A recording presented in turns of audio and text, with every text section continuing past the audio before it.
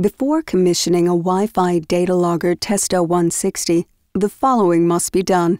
First, the pre-fitted wall bracket must be released. To do this, please insert the unlocking tool into the small aperture on the right edge.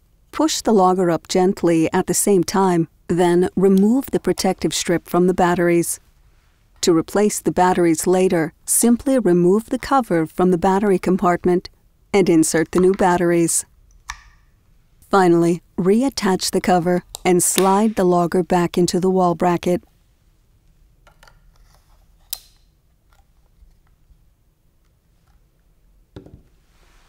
The unlocking aperture is on the left-hand side of the Wi-Fi data logger Testo 160 IAQ. The other steps are identical.